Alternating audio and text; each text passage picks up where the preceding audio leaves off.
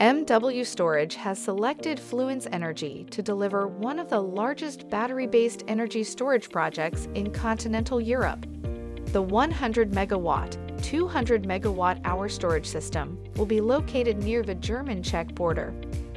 The project will increase flexibility in the power system and support lower electricity prices for end users. The companies say that the energy storage system will have enough capacity to power approximately 60,000 German households for a two hour period. Demand for energy storage in Germany is predicted to reach 23.7 gigawatts by 2037, and storage is expected to generate over $12 billion in macroeconomic value by 2050. Markus Meyer, Managing Director of Germany and General Counsel at Fluence, stated We are pleased to again partner with MW Storage, this time delivering one of the largest commercially operated storage systems in the country.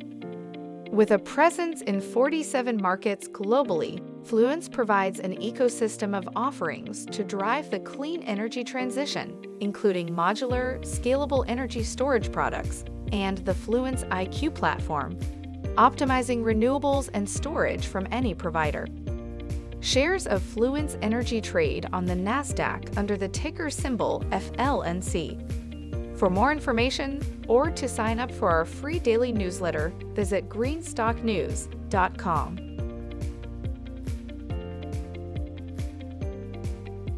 Thanks for watching Greenstock News. If you like the video, please hit the like button.